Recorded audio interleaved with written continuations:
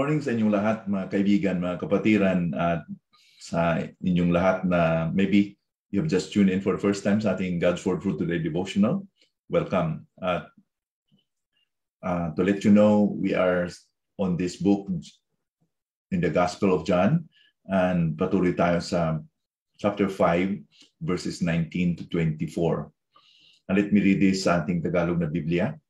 Kaya sumagot si Jesus at sinabi sa kanila, Katotohanan sinasabi ko sa inyo, hindi makakagawa ng anuman ang anak sa kanyang sarili, kundi ang nakikita niyang ginagawa ng ama. Sapagkat ang lahat ng mga bagay na kanyang ginagawa ay siya ring ginagawa ng anak. Sapagkat minamahal ng ama ang anak at sa kanya ay ipinapakita ang lahat ng mga bagay na kanyang ginagawa. At lalong dakilang mga gawa kaysa mga ito ang ipapakita niya sa kanya upang kayo'y mamangha sapagkat kung paanong ibinabangon ng ama ang mga patay ay sila'y binubuhay, gayon din naman binubuhay ng anak ang sinumang nais niya. Ang amay hindi umahatol sa kanino mang tao, kundi ipinakaloob niya sa anak ang buong paghatol upang parangalan ng lahat ang anak na gaya rin ng kanilang pagpanga, pagparangal sa ama. Ang hindi nagparangal sa anak ay hindi nagparangal sa ama na sa kanya ay nagsugo. Katotohanan ang sinasabi ko sa inyo, ang nakikinig ng salit, aking salita at sumasampalataya sa kanya na nagsugo sa akin ay may buhay na walang hanggan at hindi darating sa kahatulan kundi lumipat na sa buhay mula sa kamatayan. Because of the miracle that he did by healing the man crippled and that started the whole episode of criticism from the religious leaders. And Jesus, uh, in these particular verses, ay nagpapahayag na siya at ang Ama ay isa lamang. One with the Father. Jesus and the Father ay isa lamang. In essence, when Jesus says, Truly, truly, I say to you, He is claiming to know these things firsthand, personally and directly because uh, original that is how, how it should be understood. He claimed personal first-hand knowledge. The relationship between Jesus the Son and God the Father, itong relationship nito is one of perfect harmony. So in this extended discussion that Jesus with the, the, the, Pharisees and religious leaders, he explained to them some of the nature of his relationship and work with God the Father. Ang problema lang sa mga Parisiyo at sa mga Sadusiyo was spiritual blindness. Hindi sila makakita because they are blinded by their tradition. So Jesus has to rebuke them in Matthew 23 verse 17. This blindness created a wall of separation between them and God. And as a result, their actions and attitudes did not reflect but had contradicted the purpose and plan of God.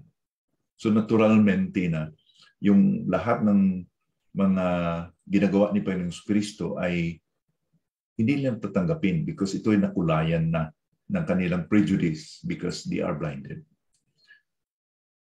Subalit, si Panginoong Kristo is explaining his state of communion with God.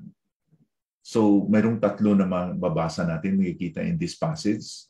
Firstly, his actions are identical to the will of God. Kung ano ang ginagawa ng Ama, ginagawa niya din. Walang pagkakaiba.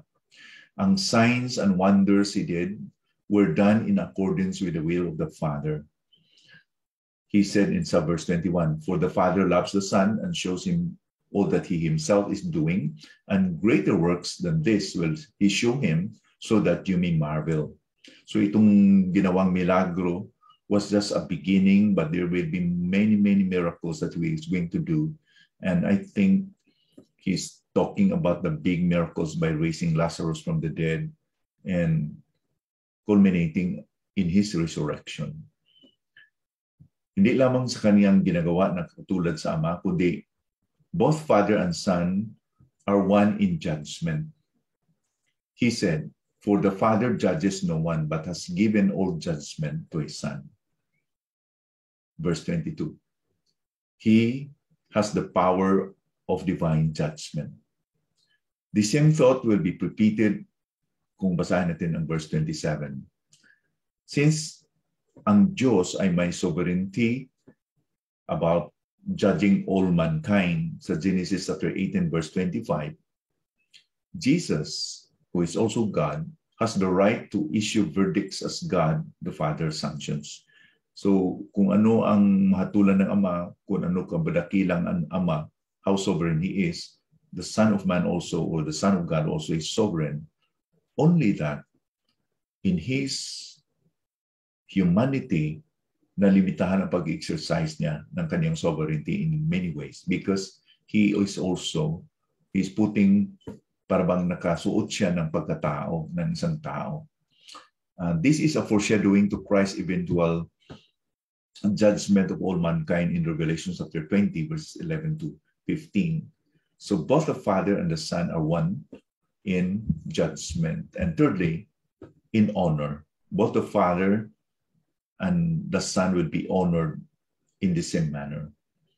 Sabi niya sa verse 23, All may honor the Son just as they honor the Father. Whoever does not honor the Son does not honor the Father who sent him. Since Jesus is owed the same honor as the Father, kung ang isang tao ay nag-reject sa kanya, hindi pwede na mag-claim siya that he will know the Father by rejecting him as the Son. That would be absurdity. Hindi pwedeng mag-claim ng isang tao that I know God, I know the Father, kung hindi siya tatanggapin muna. This aligns the claim that He is the one and only way to reconcile man to God. So nakatugma na yung claim niya na I am the way, the truth, and the life. No man can go to the Father except through me. Because knowing Him is knowing the Father. So honoring Him, receiving Him, is receiving the Father as well.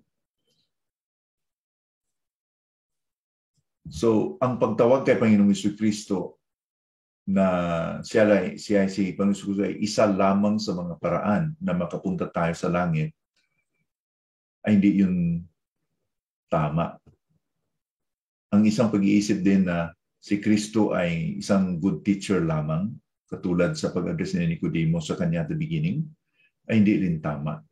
Jesus is not, not a good teacher only. He is more than that. He is the Savior, the Son of God. He is not only one of the ways to go to heaven, to re, for man to reconcile to God the Father. He is the only way. So anything lesser is a dishonor to him. So in summary, kasi isa siya sa isang siya sa Ama, he is one with the Father in essence. Hindi siya katulad ng Ama because he is distinct.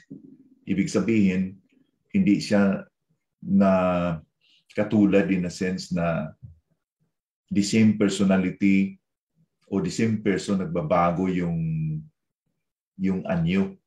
Halimbawa, I am a father and at the same time I'm a husband. I'm the same person, but I have different roles. That is not the way we think about Jesus and the Father. Jesus is different person. God the Father is a different person, pero they have the same essence. Both are of eternal nature. They are God. Both are God. So those who believe in Christ ay naniwala din sa Ama. He said in verse 24, Truly, truly, I say to you, whoever hears my word and believes Him, the Father, who sent me, has eternal life. So kung maniwala tayo kay Panginoon Kristo, naniwala tayo sa Ama, magkaroon tayo ng buhay na walang hanggan. And He does not come into judgment, but has passed from death to life. That's verse 24. So Conversely, he who rejects the Son, ni-reject niya ng Ama rin. Thereby, Siya na nag-reject sa kay Panginoon Kristo will remain in death and will receive the judgment. So ang ating kaligtasan, ang ating pag-reconcile sa Panginoong Ama is through the Son only. There will be no other way. Wala na po ibang paraan na ma-reconcile yung makasalanan na tao punta ng Ama maliban sa Panginoong Kristo. So this answers the questions and the criticisms of the religious leaders during Jesus' time because Jesus himself claims, explained that sino siya ay walang pagkakaiba sa Ama. Sa kanyang mga ginagawa, sa kanyang pag-judge, sa kanyang honor. And let it be that we will continue to know the Lord Jesus Christ that He is not only our Savior, but He is the sovereign God as well. Maybe na sa ating pagpatuloy sa pangangaral sa salita ng Panginoon, madagdagan ang ating pagkilala kung sino pala itong Panginoong Jesus na napakilala sa atin. And we will marvel that He is really divine Himself. Manalangin tayo. Panginoon, salamat po for today.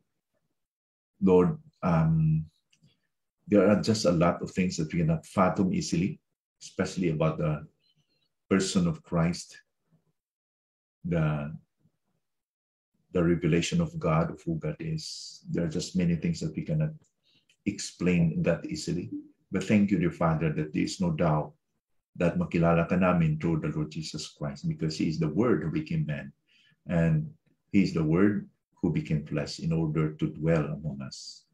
Thank you that this morning we are reminded sa pagkakaisa niya sa inyo, yet you are one and the same and we can worship the God who is sovereign in the person of the Lord Jesus Christ, who became man in order that he can know you in a personal way. So bless this truth, Lord, in our hearts, be na makastrengthen to sa amin, not to doubt that indeed Jesus really is the Lord God.